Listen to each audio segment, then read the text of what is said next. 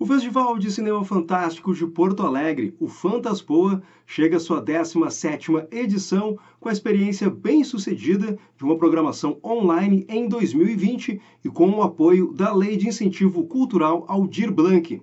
Para 2021, o festival vai exibir mais de 130 filmes de 30 países diferentes de maneira gratuita e online durante o mês de abril.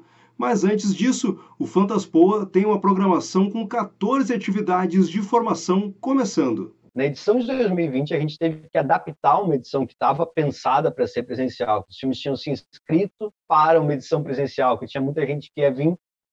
E a gente foi pego de surpresa com tudo que aconteceu, como todo mundo, e teve que se adaptar para migrar para o meio online, para achar uma plataforma, para liberar os filmes. Agora, para 2021, a gente se organizou de uma maneira. Os filmes já foram escritos para edição online, as pessoas já estão pensando em como elas vão participar online, a gente vai ter várias atividades complementares online, ou seja, ele é um festival que ele já foi pensado para o ambiente online desde a sua concepção.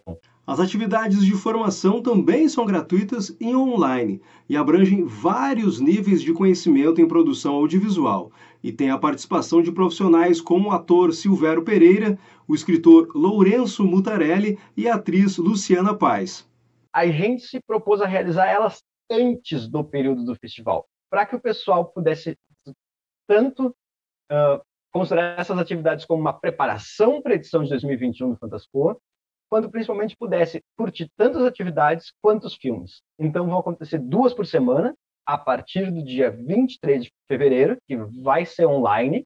As pessoas vão poder interagir diretamente com esses ministrantes e depois ela fica disponível até lá o final do festival, no dia 18 de abril. A proposta é que as oficinas sejam interessantes tanto só para os interessados quanto para os profissionais de cinema.